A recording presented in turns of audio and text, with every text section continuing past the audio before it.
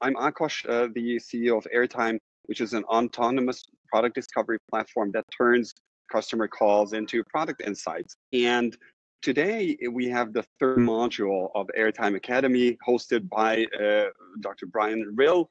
And this module is going to focus on validating solutions. In the previous mon- modules, in the first one, we looked at how to understand your customer. And then the second one, how to focus on the most important problem. And I think without further ado, you're not here today to listen to me, but to listen to Bryan, who has a lot of wisdom and a lot of amazing stories. So let me hand over the mic to you, Bryan. All right, thank you very kick much. It, kick it, let's kick it off. All right, well, welcome back, everyone, uh, to the third part. If you've been to the first two, you know we cover a lot of ground in these sessions. Um, and then, of course, you know, we're available to communicate with you afterwards to follow up with any questions you have. So please feel free to reach out. We can schedule a call and continue the conversation, or just post your questions in Slack, and one of us will get to them eventually. um, we'll get there. Um, but today we have a lot of ground to cover. So I'm going to jump right into it. Uh, and let me see. Um, I'm trying to play around with my screen layout. So if I have a little bit of a technical thing for a second, excuse me, I'm just trying to make sure I can see all the slides and you at the same time. Okay. So, where are we? Well, we are talking today about validating solutions. And let me see. Again, I've got to kind of figure out my controls here. Okay. So, at this point, hopefully, you guys have understood a problem that you're solving. You validated your solution concept. You've come up with a series of different ideas, right? Maybe you prototype these, maybe those are just still concepts in your head. And it's time to figure out which one's best. Now, I'll stop here because this is often a step that I see a lot of companies skip. Um, it's kind of like once they do their discovery and they make the business case for something, they just charge forward and they build it and then they release it and they find out in beta if it was good or not.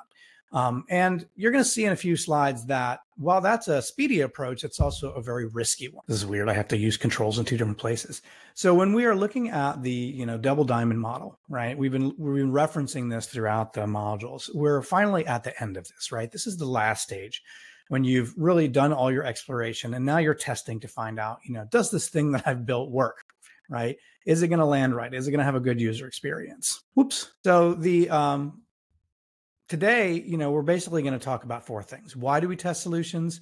What are your options for testing? We're going to cover some fundamentals with usability testing, and then we're going to talk a little bit about reporting for impact. So, why do we do this in the first place? Well, prototyping is the stage in design where you're creating sketches and inexpensive models of the concept, right? If you have users with uh, to interact with and they can give feedback on these early concepts, you're going to learn a lot right? And in my personal experience, 100% of the time, users point out something that you hadn't thought of, right? And why? Well, it's pretty simple, really. It's because we're all biased by our own experiences and our vision. And this creates confirmation bias, which is the tendency to see what confirms our ideas and ignore the things that don't confirm them. And more often than that, or moreover, I should say, nobody really wants to admit that their baby is ugly. okay. So this leads me to a few uh, prototyping principles that I want to go over. Um, and I want to start by talking about this thing called um, functional fixation, which is a psychological effect that was first studied by Karl Duncker back in the 1940s. Um, what he found was that independent of testing condition, participants tended to pick one idea and stick with it. Now, he imposed all kinds of constraints, and time obviously gave people less exploration. And that's something as product managers you're all very well aware of, right? You never have enough time to do the research that you want to do. Um, but even when people were given more time in these studies, it didn't change anything. And when they interviewed them afterwards, people said, oh, yeah, I had fully explored the concepts and they couldn't even see other alternatives um, for what they were doing. And this is something that goes on in our psychology. So, how do we get past this, right? Well, the answer is is three things. One, you keep it simple in the beginning, right? You ramp up fidelity over time, starting with just sketches or very low fidelity prototypes, only really using the detail that you need just to get that initial feedback. And don't get attached to things, right? Just as important is that you have more than one thing that you're testing, right? If you just test one solution, you're in a, in a go or a no go situation right? But if you have two or three different prototypes or two or three different versions of the same solution, then you can test these and figure out which one works best. Right. So it's really important to create these alternatives and really slow down for a bit, right? And observe intently how people are interacting with them to understand which one's the best one. And then finally, based upon those results, you iterate your idea and you work to perfect not only the product, but how you communicate that product to people. Okay. So this is that cost diagram I was referencing a second ago. Uh, human-centered design as an overall process, you know, is great for helping understand people and develop empathy um, and really build things that meet people's needs. But it has a pretty strong business case too. And here it is, right? If you prototype and you fail and you learn early, the cost is very low. You know, the longer you wait, the greater the risk increases. And if you wait until launch to find out, um, your cost can be at minimum 10 times higher and up to 100 times more to fix a problem after it's gone into production than during the prototyping stage. Whereas if you test prototypes before you start sending them to development, then you have the opportunity to catch those mistakes earlier. And that leads to better adoption and better CSAT, which at the end of the day equals better revenue for your company. So that leads us to our first exercise. And this is just kind of a self assessment, right? Um, that I want you to jot down a couple notes. And I'm going to show you how to build a business case to do this type of validation work. So, first, you think about the last time you developed something without testing it, right? And ask yourself what happened, right? When that was released, how many customer complaints did you have? How many uh, feedback requests did you get where you had to make small changes? What reworks did you have to do? Right. And try to think of that in times of, well, how many people got involved in this process and about how many hours do you think it took? Right. Um, for them to make these changes. And then think about a different time where you did test something fully before you released it. And what's the difference between those two experiences for you? And not only in terms of just like the practical outcomes, like, you know, time and cost saved, but like, how did the team feel? Right? Were you motivated? Were you excited? Were you happy with what you launched? Or did you launch it and go, I'm not quite sure if this is going to work? And you were just kind of expecting some things to go wrong and have to fix them. Because honestly, that really affects your motivation as a team moving forward. Now, all you got to do is take the number of hours that were worked by the development team, designers, product managers, and customer success fixing whatever errors were made, um, and then multiply that by $100 an hour. And guess what? There's your business case. Now, let's just say it was a small thing, right? Maybe it was a few hours of customer success. Um, maybe it was a few hours of design and maybe, you know, a dozen hours of development. So 20 hours. Okay. That's still 20 times 100. What is that? $2,000, right? Could you have done a short test for the equivalent of $2,000? Sure, you could have. All right. And that's a really, really small use case. Usually the numbers are much, much larger than that. So how do you test? What options do you have as product managers? Well, I'm going to talk about four today. Um, Akash, could I ask a favor of you? I have a hard time advancing both my keynote and the slides at the same time. So if I just say next slide, can you advance the PDF that everybody's looking at? Happy to do that. All right. yeah, it's, you can tell I have a time lag here. Um, so we're going to talk about interviews, A/B testing, and then two different versions of usability testing: moderated and unmoderated. Okay, next slide. When we look at these things in the product development cycle, right, um, you can see here that validating one or more solutions occurs primarily in the design stage of product development. When this is not feasible or gets deprioritized, this testing tends to shift to the deliver stage. And this is where the rework cost starts to go up significantly. Um, but it's still one last chance to check things before a big public release. And so I often get asked the question, you know, when do we do what type of tests? And so here's my short answer, right? If you have low fidelity designs to help pick the best solution, you test those as early as possible, definitely in the design stage. Okay. Um, when you get to high fidelity designs, um, test usability before sending it to dev. If you can't do usability testing for some reason, that's where design validation interviews come in. Okay. You use A/B testing um, when you're trying to design between or decide between two alternatives. So that's back in the design stage. And finally, you do beta testing, and this is when you've already built something, um, and maybe you haven't done the testing beforehand, but you want to test it um, before the big public release. Okay, and different organizations have different capacities and work in different paces. So these are all options. My big thing to prioritize is that make sure you do test it. And the earlier is better. Next slide. So um, I want to talk about some things that I've learned about ownership of these processes in product teams. Because um, I'm a big fan of Marty Cagan's book, um, Inspired and the Triad Model. Um, but I will say that it has some consequences that sometimes get overlooked. Um, and one of them is this idea that, oh, well, great, we have a product manager, a designer, and someone from the engineering team making decisions collaboratively together so that you don't have silos. That's awesome. But it doesn't include the researcher in that picture. And that's a mistake. So, what ends up happening is the product manager becomes responsible for research. Um, and I've worked in organizations where, um, you know, there's this beautiful idea of democratizing research right? Let's have everybody do a little bit of research, right? Um, and it is a beautiful ideal and it is possible, but it is a big commitment, right? And it's a big culture change commitment, right? So if you want to train your product team how to do good research, you have to invest as an organization into that enablement process. And that can take months, that can take years.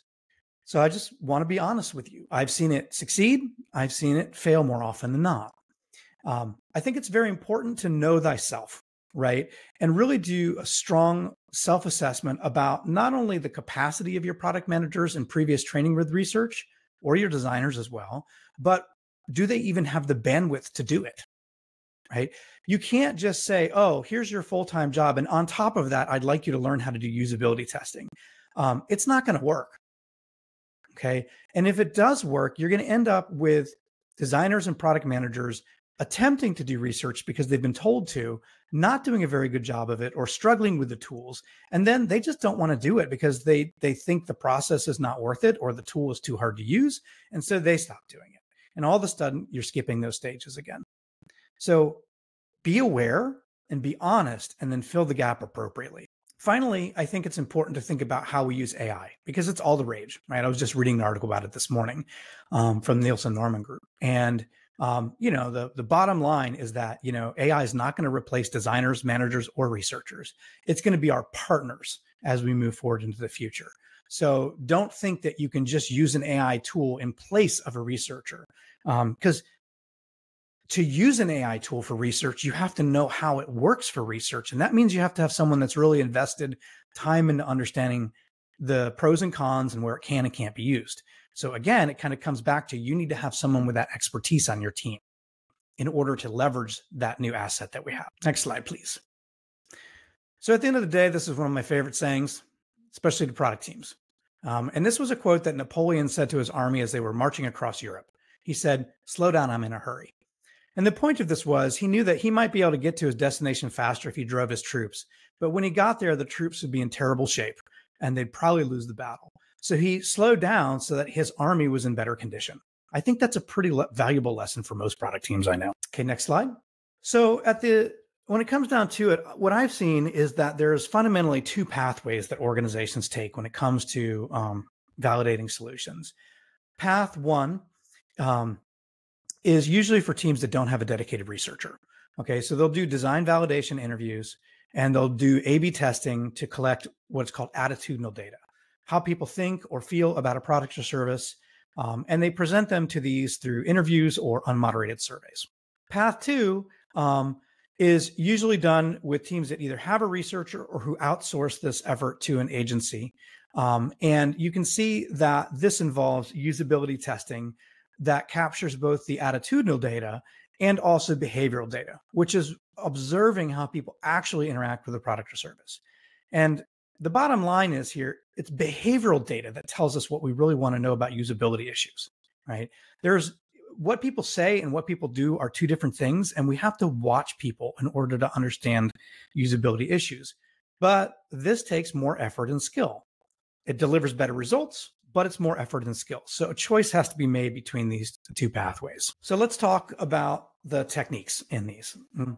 Design validation or design review are terms that I've often heard used um, where people present a prototype and they want to get feedback on it. Um, and these are best done as moderated interviews. If you go to the next slide, please. And the goal here is simply just to have a conversation with people um, and to present them something and usually, you know, ask some questions that maybe you're not sure about certain directions that you're going in the product or you've designed things and you're like, hmm, You know, does this thing go here or here? I want to know what people prefer and why. Right. And so you need to have a, com- a human conversation with people for that. So this is a very common technique. And this is one that product managers and designers are usually very good at. I have a lot of confidence in the ability here of the teams that I work with. Um, next slide. So, um, how do we do this? Well, the first thing is you want to set the stage. So, you give them what we call a UX scenario, um, which is a kind of a, a lived reality contextual script, right? That allows them to kind of step into the role of the user and the experience that you're showing them, right? Um, and then once you kind of kind of set that context, you show them the prototype, and it really depends here on what you've prepared. Um, pretty common formats that I work with are either walkthroughs of high fidelity prototypes in Figma, um, or if it's actually in the sandbox environment, that's great too. Um, or um, someone might record a Loom video of them stepping through their own prototype and they kind of narrate um, what that experience is like. So the user is not directly interacting with the prototype in most of these interviews. They're being shown something and then having a conversation around it. Now, it's great if you do have a prototype that someone can interact with and you can share the link with them and you can say, hey, click through this and let's have a conversation. But that takes a bit more time for the designers to prepare that asset. The type of questions that I like to ask in these um, interviews um, are per scenario and then follow up. So uh, it's important to think about what a scenario is. A scenario is a particular flow right? So every flow that you want to show to a user has its own scenario. And so you start off with setting the scene for that scenario. You allow them to explore it, and then you ask these questions, right? I always start with very high level questions like, what's your overall impression of this? Right? Or what do you think this is, and what does it do for you? Okay. Um, and then once I get those impressions, I will ask them to kind of walk through how they might use that experience or review a page and say, you know, what stands out to you? What makes sense? What doesn't? Um, and then from those high level questions, I'll usually probe into things that are of particular interest to me. So how often do you usually do something like this? What's your normal process? What do you need in order to succeed, etc. And I do that for each scenario. And then at the end of the scenarios, um, then we kind of have these overall questions, right? This whole thing that we've shown you, again, high level, what's your overall impression? What are your concerns or questions that you have? What worked, what didn't? Um, and again, a bunch more kind of specific questions. And the ones I have here in the slide are questions that I find work pretty well for every product I've ever worked with. But I would say that in each of these interviews, there's also some very specific questions that product managers or designers want to know answers to. So they add that to this bank of questions. And also, don't try asking all of these. This is way too many questions for an interview. Um, you're going to ask maybe four or five of these, right? So pick which things are most important for you to learn. Um, and the way I design interview guides is I, I have the core questions that I must have answered, and then I have a bunch of other stuff that I'm interested in.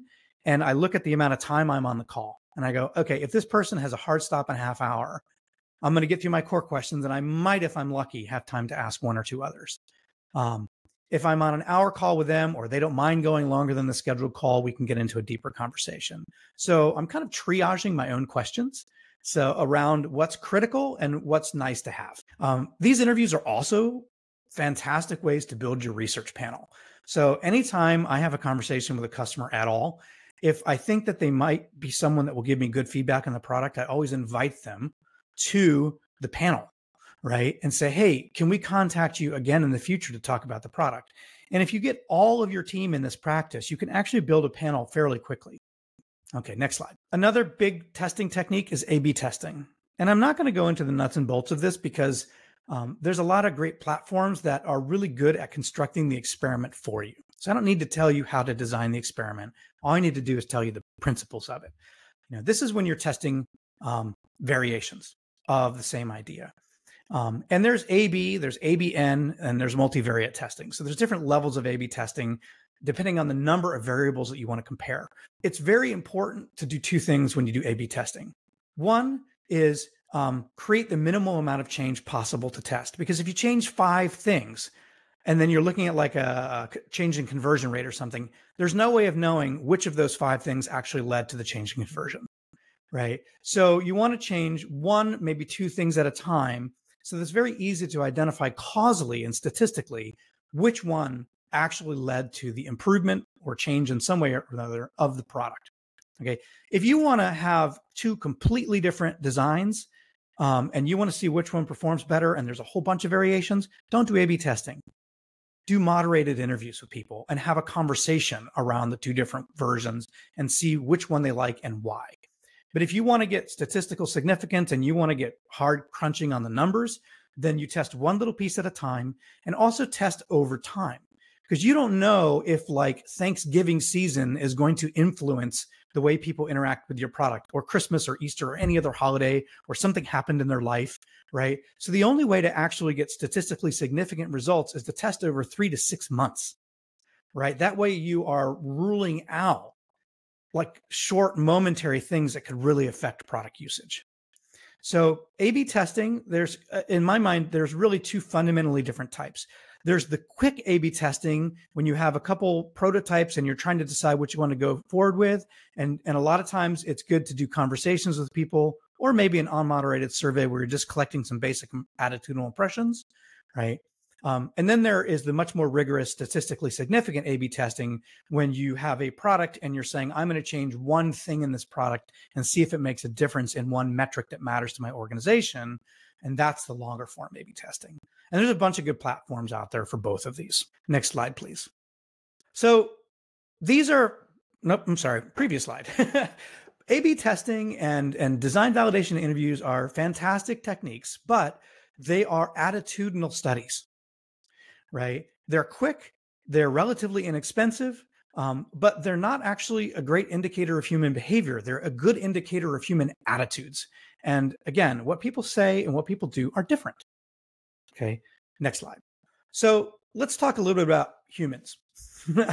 um, and this comes from lots and lots of studies in psychology and cognitive science. Um, when people are asked for an opinion, most of the time they'll form one right on the spot. And these opinions aren't very deeply held. And this is one of the big weaknesses of things like focus groups.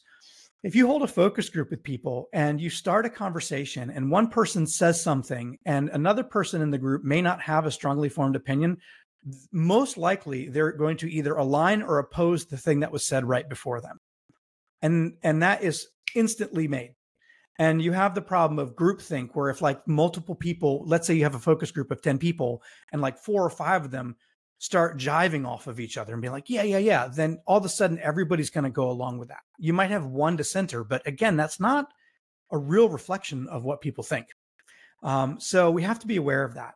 Um, also, um, often when people do understand the real reason why they do things, they may not want to tell you because they might be slightly embarrassed by that, right? Like I eat healthy. I eat salads all the time. I'm probably not going to tell you I put three ounces of ranch dressing on my salad, which kind of ruins the whole health MO thing. If you guys question me, just look up the ingredients of ranch dressing. You'll never eat it again. Or maybe you're going to love it more. I'm not sure. Right. It's just personal. But the point is, is that we're not going to say that. Right. Um, and then often when people do tell you things, they only tell you partial truths, right? Or no truth. You never really get the whole truth. Um, and there's lots of reasons for this, but part of it is, you know, maybe they're being paid and they think that, oh, you know, my job here is is to uh, give supportive information, right? Or worse, they're your friend or someone that knows you, and the last thing they want to do is is ruin your day, right? So um, they they just don't tell the truth all the time when they know. And more importantly, next slide, please. Many times people don't understand why they're doing things. Okay, this is a great book that I recommend everybody reading Thinking Fast and Thinking Slow. And uh, what Kahneman points out in this book is that most of our behavior is unconscious. Okay. Um, and he shows tests in this book where people even believe their own answer. Okay. And when they do get tested, they don't even notice the dissonance between something they just did and their explanation of it. Okay. So you can literally ask someone to do something and they'll do it. And then you ask them to explain it and they give you a different explanation. And you're like, and a really great example of this is like online shopping experiences, right? When you ask people, why did they make a purchase decision, right? And they'll tell you, oh, I made a purchase decision based upon X or Y criteria. But then you look at the way they actually did their shopping and they just like look for the brand they like, right? Um, and it's like, wait a minute you said that you shopped based upon value, but you went straight to Adidas or Nordstrom Rack. Um, I'm not sure that's the best value for your money. So again, there's that dissonance, and people don't recognize that. Okay. And the reason why is because it's not that people are intentionally lying to us, it's because our brains try to weave coherent stories for ourselves. And then when asked, our brain instantly puts together a story to tell you. Okay. Um, that makes us very efficient, but also pretty inaccurate. Next slide. So, what's the solution? Okay, well, it's called usability testing. And um, this is a very robust method for understanding how well your product will succeed or fail. And one of my favorite pictures is on this slide, and it's the kitten eating the camera. Um, we build things, and many, many times we do not anticipate other factors that could influence us. And if any of you have ever had a cat and a camera, this might have happened to you, right? Kittens chew on things, right? When they're teething, they find things that are very appealing to them. And somehow the body of a camera is just fantastic, right? Was your camera built tough enough to survive your kitten? Did you think about that in your product testing? Okay. Um, when you put things in real people's hands in the real world, in real environments or simulated real environments, then you find out a lot more than if you just have conversations. This is a quote um, from Steve Jobs that I like to, to reference. Um, and it's the point in my mind of, of good usability testing, or when you're trying to evaluate if your feature set is the right feature set. And if you're trying to build everything that's possible that's great, um, you're going to spend a lot of money building a lot of stuff that only a certain amount of it is going to be used right? The goal is to say no to as much as possible so that you're saying yes to what's really important. Next slide, please. So I've been using this term. What's usability? Let me define it for you. Um, basically, it's a term used to denote the ease of which people can employ a particular tool, right? This is the Wikipedia definition. And if we go to the next slide, this is the um, ISO definition. So this is the golden standard of usability, right? Um, it is a measure of effectiveness, right? How well can com- people complete their tasks? And so we can measure this by observing something called task success. Could they do it on their own with no assistance? Great, that's a pass. Could they do it, but they had to do some kind of a workaround and it wasn't a happy, it wasn't the happy path? That's a pass with a little bit of difficulty. Or could they not do it and they needed some help from you? Or did they have to access a help manual? That's a fail. Okay. Um, so we can create objective measures of task success, and we call this effectiveness. Efficiency is the time. So the way we measure this is time on task. How quickly or how long did it take for someone to actually complete the task they're trying to do? So you've probably heard the standard of the less clicks, the better, right? That um, is is a statement that is speaking to efficiency, right? If I can do something in two clicks instead of five clicks, that means it's a more efficient user experience design. Is it always better to have less clicks? No. But you want to go for the most efficient experience possible, right? So maybe it's a balance between the amount of interactions a user has to take and the amount of support you give those interactions until they learn the mental model of your product, right? Um, that's a longer conversation than we have time for today, but this is one of those things that we measure with usability. And then finally, satisfaction. Do people like it? Right? Do they enjoy using your product or service? And and we live in a world today where um, people have choices with pretty much any product they want. Uh, long gone are the days where if you wanted something, you had to go through one company that had absolute rights to it, and it was just locked down. You know, now if I want any piece of software or any tool, I've got dozens of options usually to choose from. So which one am I going to choose? Well, most likely, I'm going to choose the one that's the most effective, the most efficient, and the most satisfying to me. And so, for all you UX designers in the audience, this is for you, right? This is why UX design matters, right? Because that's the goal of good UX design is to make these as positive as possible for people so that your product is chosen over the competition. And this is what we're measuring with usability tests. So, usability testing, first of all, involves real people. If any of you are using synthetic users, please get in touch with me after this workshop, and I'm going to give you about a gazillion reasons why that's a bad idea. okay, don't do it. It's terrible.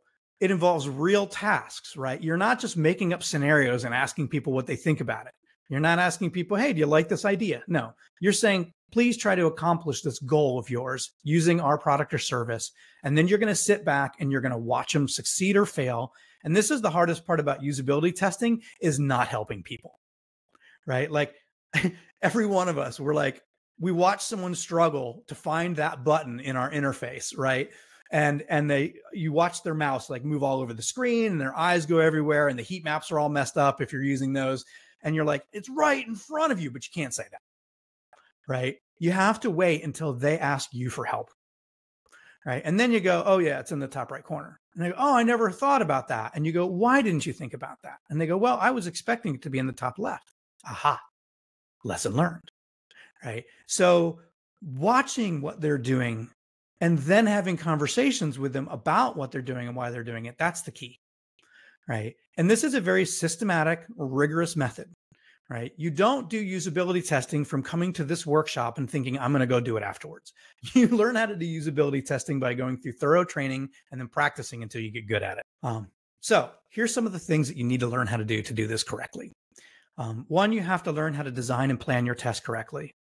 Um, two, you have to re- recruit the right people for the tests. Um, three, you need things like checklists to make sure that your test runs without a hitch. And this is one of the assets I'm going to put in the resource folder um, right after this workshop is what a usability testing checklist looks like, both in terms of preparing for one and in terms of running one. You need to write really good test tasks that are relevant both to you as a business and to your customers. Um, then you have to go through the logistics of organizing, preparing the testing sections. And then you have to get good at moderating, helping people transition from thinking just inside their head to actually sharing what's inside their head with you. And there's a series of prompts that you can learn to help with that as well. Next slide, please. So I do want to just repeat my cautionary note here. This is not a skill that you learn in a day or in a weekend. Okay. It is worth every dime to pay someone who has this skill set or in your own internal company to invest in the cost of training your team to be good at this. Okay. You have to do a bandwidth check as well. Understand that a single usability test takes a minimum of 20 to 30 hours to do. And that involves planning, recruitment, follow up, execution, analysis, and sharing. All right. This is uh, actually a minimal estimate. In my experience, it takes 30 to 40 hours to run a good usability test. So, do you have the time for that? right? If you as a product team don't have the time for that, pay someone else who does. If you don't have the skill for that, pay someone else who does, right? You'll get that return on investment, I guarantee you. So, exercise number two. This is your second organizational self assessment of the day. So, from what I just shared with you, on a scale of one to five, how prepared are you to execute? Right? A five is, I'm totally prepared. We've got this. A one is, mm, maybe we shouldn't be doing this. A Three is okay, we're decent at this, but we have room to improve. So just give yourself a rating there for a second. Um, and then ask yourself the next question, which is how much are you willing, or how much do you think your organization should be willing to invest in um, internal training? And finally, do you have the time for this?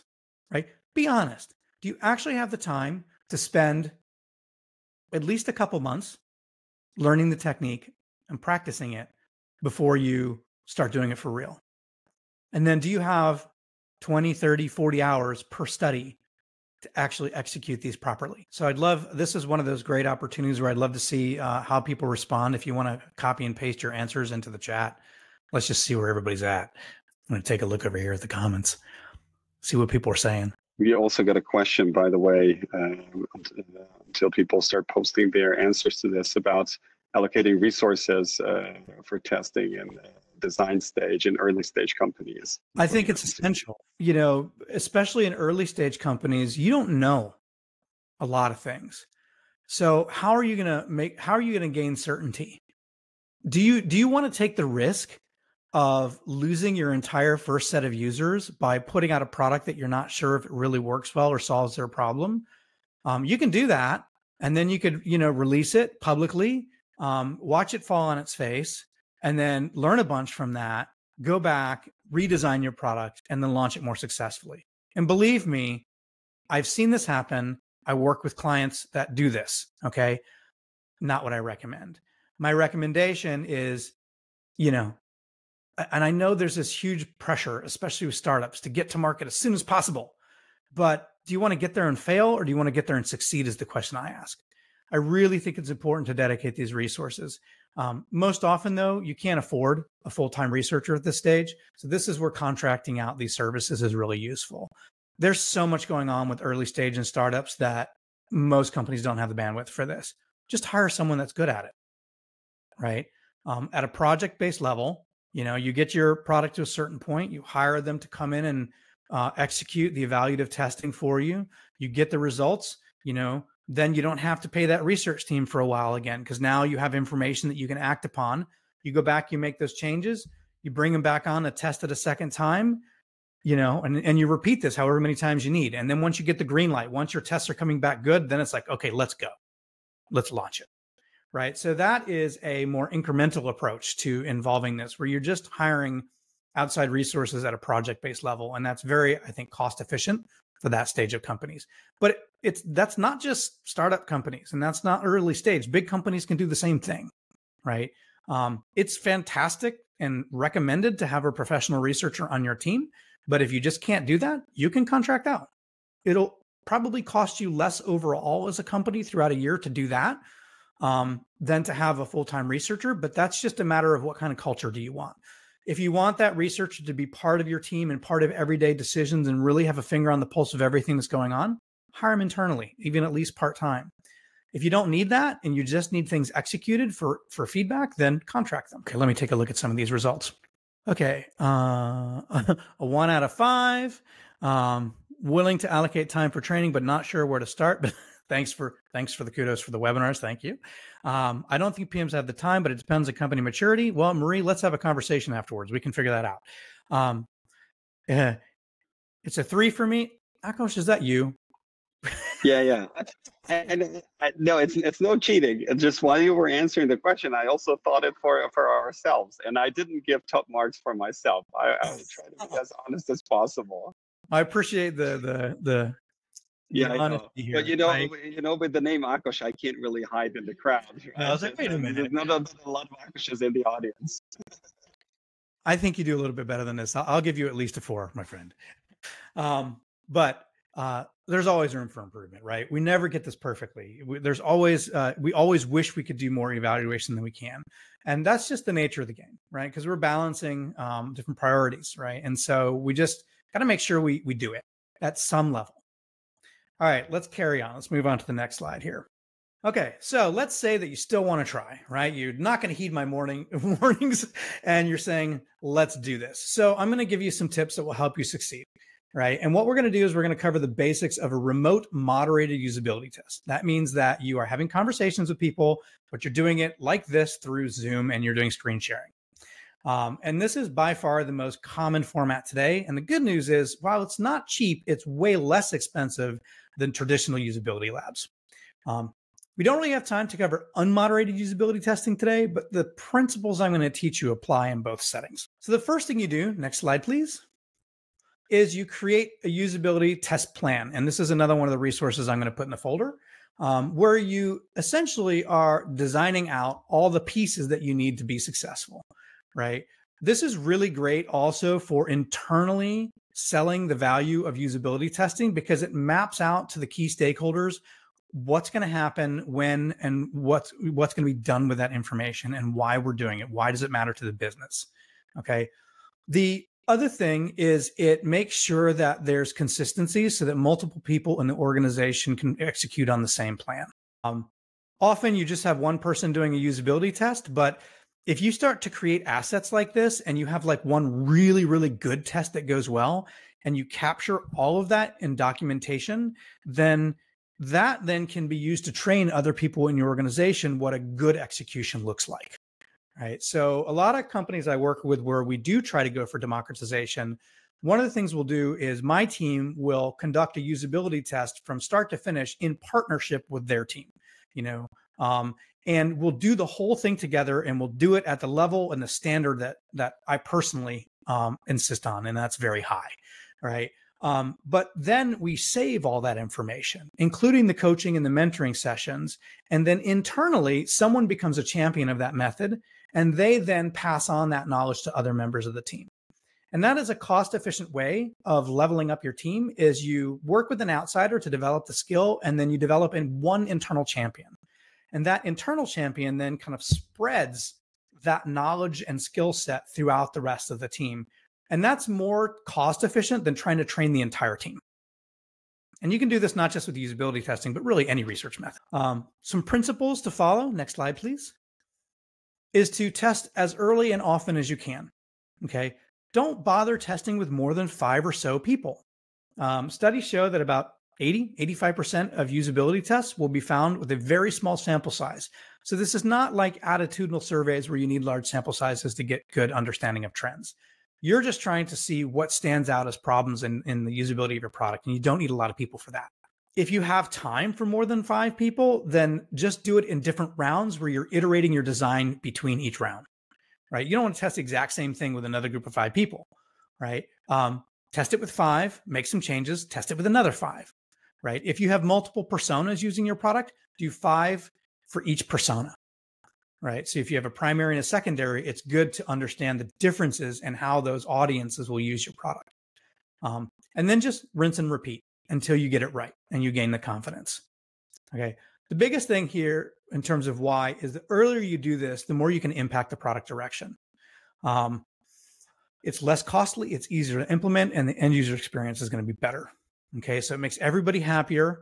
It it reduces rework and it increases product and hence business success. So don't wait into the don't fall into this trap that I see too often of waiting till you have this beautiful high fidelity prototype where everything works and it's ready to test. Okay, don't wait for readiness. Get it out there as soon as possible. People give better feedback on lower fidelity prototypes than high fidelity prototypes. Because in user testing, what we learn is that the more your UI is implemented into your prototype, the more they're going to comment on that and instead of the UX. And that's what you really want the feedback on, right? So you can test UX with wireframes and sketches, right? and then once you get that right, then you raise the fidelity, you know, um, and get some feedback later on for that. Next slide, please. Now, the best way to prototype is in person, or to test a prototype is in person with a note taker um, and a facilitator and the tester all in the same environment. This is traditional usability testing in lab settings. It's fantastic. Um, and this is really especially good for low fidelity prototypes where often you might have to explain things to people, right? That's the downside of low fidelity is that people have to imagine what it looks like and sometimes you need a conversation just with people. So you're saving a bunch of money by not raising the fidelity of it, but then you have to structure the testing environment where you can explain things to people. So it has to be moderated when you're doing low fidelity, or it should be, in my opinion, at least. Now, as you increase that fidelity, we can start using online tools.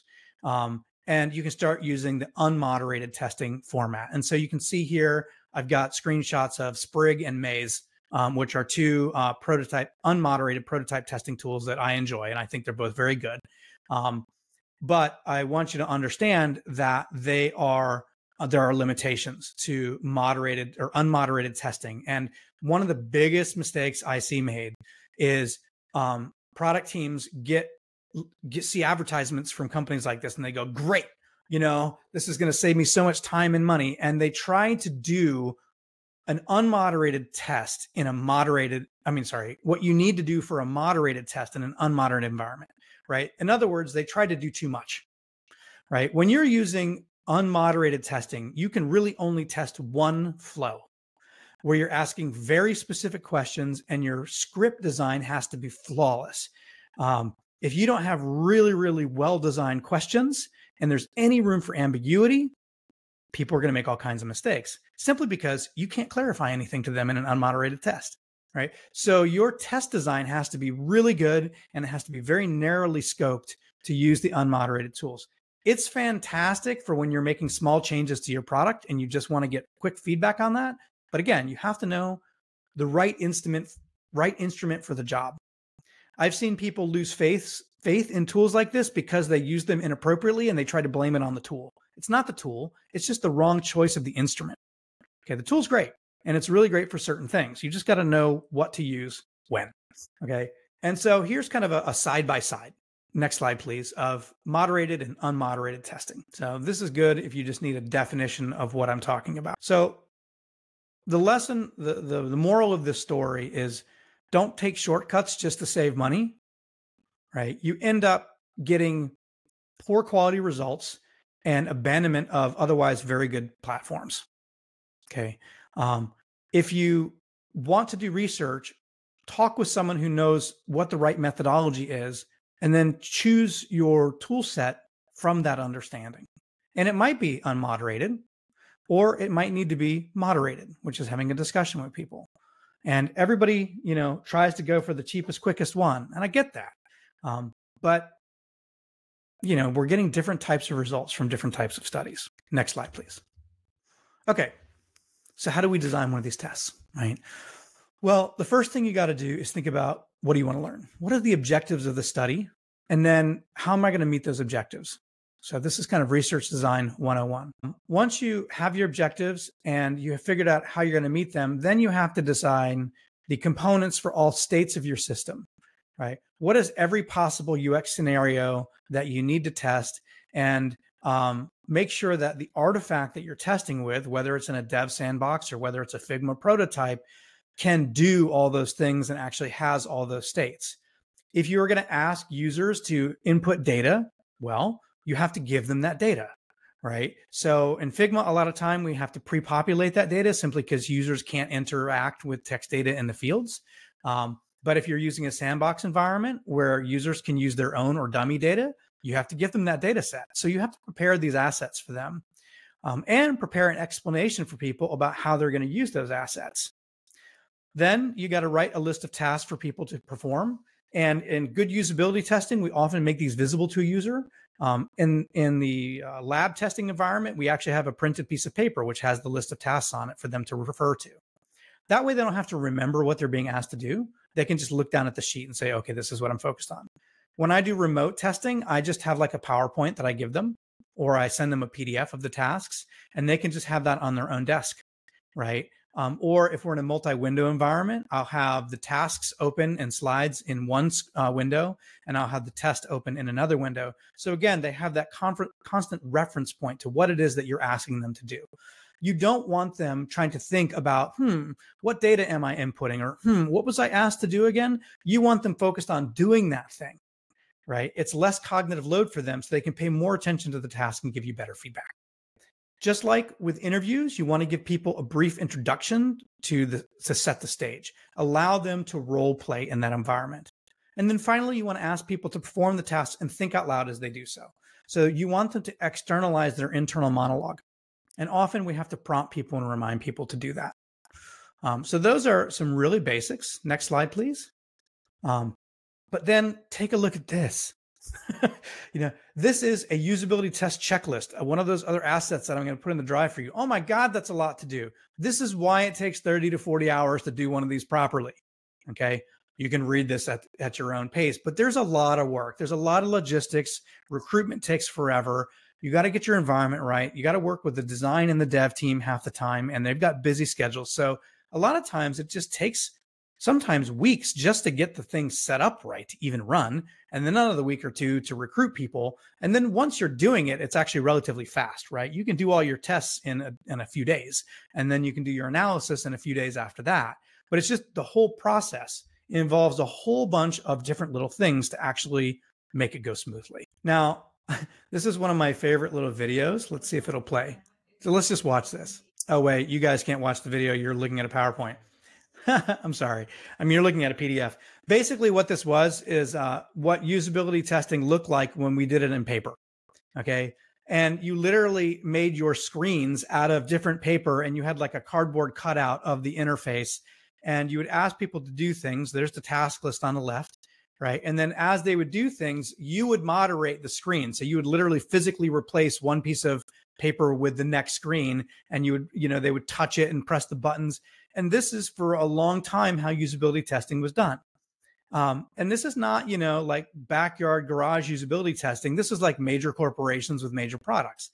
Fortunately, we can do all of this digitally these days, but the technique is still the same. And it really emphasizes the point that low fidelity is better for this. Okay. Um, next slide, please. And then, you know, kind of once you have gone through that process of testing low fidelity and you've raised it up, you can then um, wire it to become a model of the real thing. Or you, if you have a physical product in particular, you can do Wizard of Oz prototype testing, where you have a system that people are looking at, but behind the scenes, it's a human operating the things rather than than the actual software right? So you are emulating the full functionality of the product. And to the person that's testing, it looks almost real, right? There's still a little bit of pretending and imagination going on, but it's as close as you can get. Um, and this gets you really, really great results because now the the gap of imagination is much smaller, but you still haven't had to figure out functionally how to make all those things work yet, right? So you can just you can you can Wizard of Oz it, right? Um, and here you really want to make sure that you are practicing with your own team to make sure that your Wizard of Oz prototype is working as smoothly as it possibly can. You know, practice your moderation so that you can, you know, catch your own little small verbal mistakes and fix those. Um, and then also, it's important to think through what's going to happen when your users do something that you didn't expect. Does your system have the capacity to allow them to go in a different direction than what you intended? And um, if you can do that, that's great. If you can't, then you have to call it a task failure and then have a conversation around why. So I think that Wizard of Oz is a really fantastic um, intermediate form of testing when you have very tight timelines and um, you don't you want to test before you do any more development work right and this is a great way to do it um, so you just mimic that system that you're building. Or maybe you've got your front end finished, but your back end isn't finished, right? This is another place where Wizard of prototyping is really, really a great technique. Okay. Um, we're close to time, so I'm going to move quickly through these last few slides. Um, if we go a couple minutes over, I apologize, but I will try to cover it all.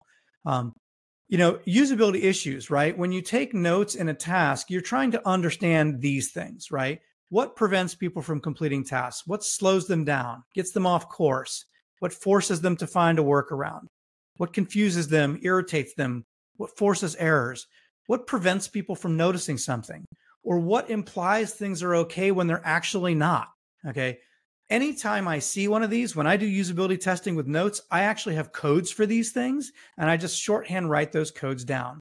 Or if you're using a piece of software that has tags, you can create tags. And then as you're going through and you're rewatching that test again, you can drop those tags where you see these problems. All right. If you're going to do a, a note taking sheet um, digitally or physically, it could be something that looks like this. My formatting's a little bit off on this slide. Next one, please. But essentially, it's a worksheet where you have your tasks laid out. You have those task success, right? Did they succeed? How well did they succeed? Did they struggle or did they fail? And then you have notes that you can take. And so you can do this live. If you've got, you know, a moderator and a note taker, your note taker can be doing this during the test.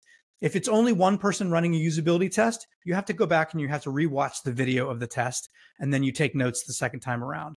Don't try to take detailed notes while you're facilitating. It's really hard to do. And either your facilitation ends up suffering or you miss things in your notes. You got to have either two people or two passes to do it well. Okay. And so when you're doing the usability test, you are focused on the conversation that you're having with that person and really doing a good job of facilitating that experience. Okay. There's another role, which is that, that keen observer. And again, it can be live with a note taker or it can be something that is a rewatch of the video. Okay, these are some tips that will help you minimize bias. Next slide, please. Um, you know, one, don't test your own designs. Ask one of your colleagues to do it because when you test your own designs, you are going to be biased. There's no way around it. Okay, so just exchange favors with people. You need someone who's not going to defend the product. That's the worst mistake. Someone makes a mistake and you correct them or someone says something critical and you explain why it's there. Don't ever do that in a usability test because they're not you're not going to be able to do that when they're using the product in the real world.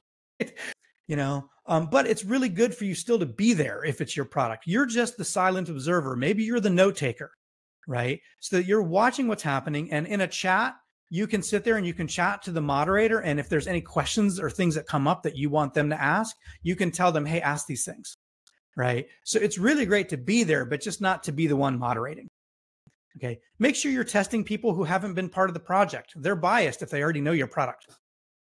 Okay. You want to reach out to representative users and use your marketing team, use your sales, your support team, use third party recruitment apps. Do whatever it takes to get a representative sample of real life users of the product. Okay. Don't rely on AI. You know, AI is great for speeding things up, but you still have to audit and double check everything it does. So it's great to help, but you still have to go back through and interpret things yourself. Um, and then when you're doing a usability test with five people, do not iterate the design between those people because then all of your data is bad. You can't do side by side comparison.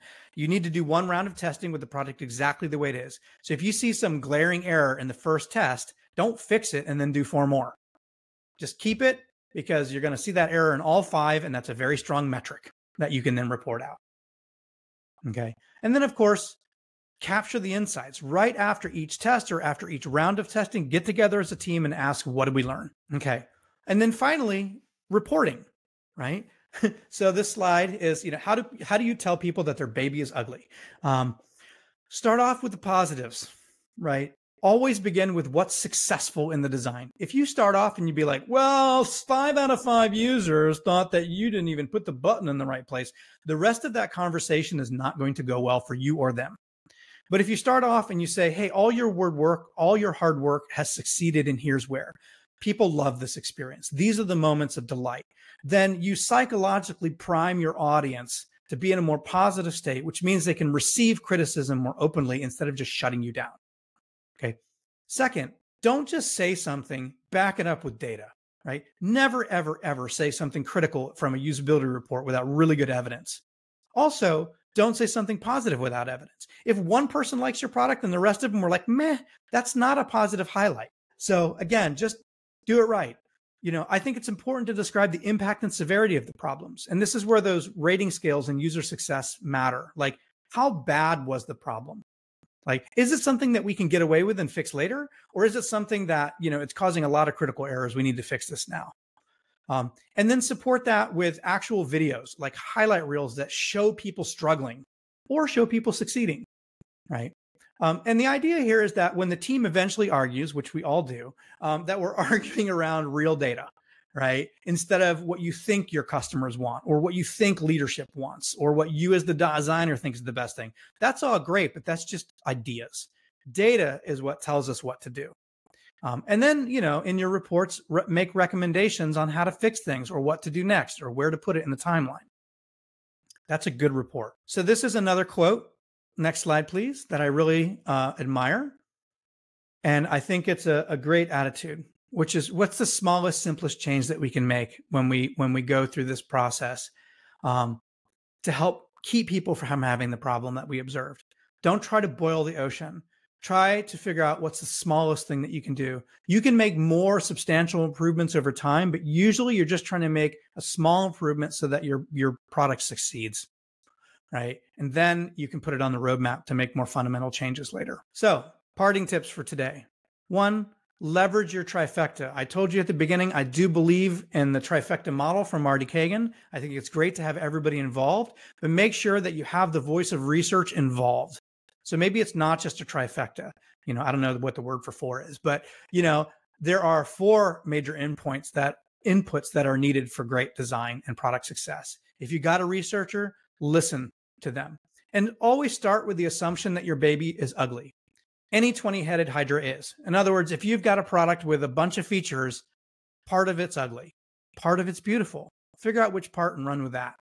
Now, the challenge I'll leave you with today is to actually try to execute what I've taught you, right? Build a usability test, run it. Okay. And then reflect upon the process and see what you know, what you don't know, where you can improve and where you need help. And that's when you reach out to us if you need it. Here's how to get in touch. So that's all I have for today. Um, if you want to wrap it up. Absolutely. Let's get the um, cameras uh, right. So, Bryan, uh, thanks so much. Uh, it was so insightful. I'm, I'm so happy we recorded everything because I need to go back to the recording uh, to to re-listen to to some uh, some of the parts. I'd like to thank the audience and everyone uh, for for the question, for the activity, and for the for the humor uh, and the and the energy levels. And Bryan, to you as well for like uh, delighting us uh, in these hours with all the wisdom and packaging and wrapping it in entertaining stories. I'm really grateful for you to to be here for us and uh, lead the sessions. All right, thanks for having me.